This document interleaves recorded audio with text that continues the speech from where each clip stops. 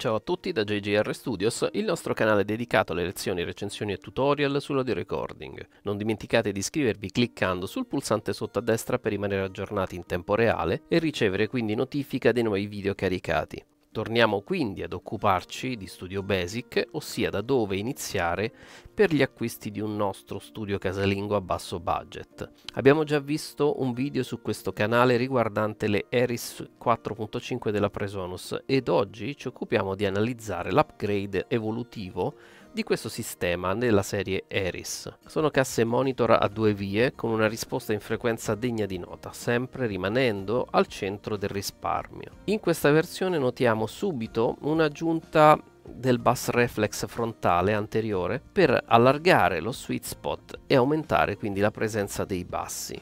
Il nuovo design infatti è stato affidato a Hugh Service di Works Audio per garantire una risposta in alta frequenza migliore e superiore rispetto al modello precedente. Sul retro, come già abbiamo potuto apprezzare nell'Eris 4.5, troviamo un eccellente pannello di controllo e di configurazione acustica assente nelle casse concorrenti. In sostanza troviamo un ingresso XLR bilanciato, un ingresso TRS bilanciato, un ingresso RCA sbilanciato. La risposta in frequenza dichiarata è 48 Hz 20 kHz. La frequenza di crossover è fissata a 3 kHz. La potenza dichiarata è di 45 W sulle basse e 35 W sulle alte. Il picco SPL ad 1 metro è fissato a 102 dB. L'impedenza in ingresso è di 10 kΩ. I controlli di gain incidono da meno 6 dB a più 6 dB sui medi e sugli alti, mentre sui bassi possiamo applicare un taglio da 80 a 100 Hz, come vediamo. Per chi desidera poi utilizzare un sub apposito da dedicare a quel tipo di frequenze. Come per l'Eris 4 troviamo il controllo dell'acoustic space in base al nostro sweet spot di lavoro, utilissimo quando ci troviamo ad usarle in ambienti stretti o scomodi. L'ingresso dell'alimentazione la rende versatilissima con voltaggio da 100 a 220 volts e protezione attraverso un fusibile. Il cabinet è in fibra di legno rivestito in lamina vinilica. Le dimensioni sono generose 20 cm x 22 x 28 per un peso totale di 4 kg l'una, ma vediamo come si comportano su strada. Dopo un po' di ascolti e confronti non giustificati e senza senso contro le Genelec, ma giusto per avere un riferimento pro,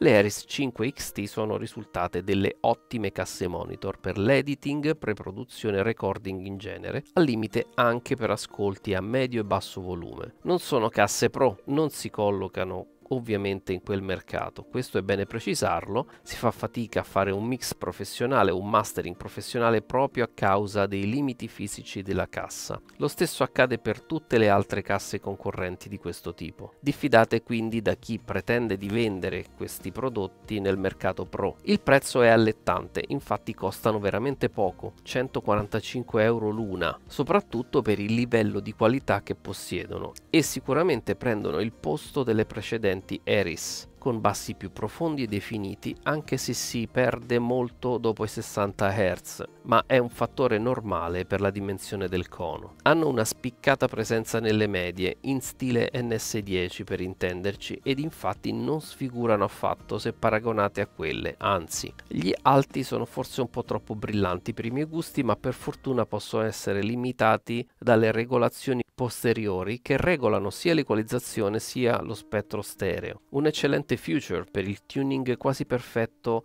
nella stanza dove andremo a metterle. Un tuning migliore lo si raggiungerà con il sistema SonarWorks che vi straconsiglio per tutti i monitor in vostro possesso. In sostanza, una volta sistemate per bene, disaccoppiate dai tavolini e tunate come si deve, rivaleggiano con casse di gran lunga superiori presenti sul mercato. Una bella lotta ora tra queste entry level e le Adam T7V. Se avete problemi di spazio ve le consiglio vivamente, 280 euro circa per una coppia è un affare. Vi consiglio ovviamente sempre di provarle dove possibile perché comunque un ascolto attraverso YouTube non avrebbe minimamente senso. Spero che questa piccola recensione vi sia stata utile, vi aspetto ai miei seminari, al corso professionale presso il mio studio e nei corsi online dove gli argomenti vengono affrontati in maniera semplice ed accurata. Verrete a contatto con le mie tracce, affronteremo i vostri mix insieme e li finalizzeremo nella fase di mastering. Non dimenticate di iscrivervi cliccando sul pulsante sotto a destra e di supportare il mio canale Patreon. Per il momento è tutto, ciao a presto!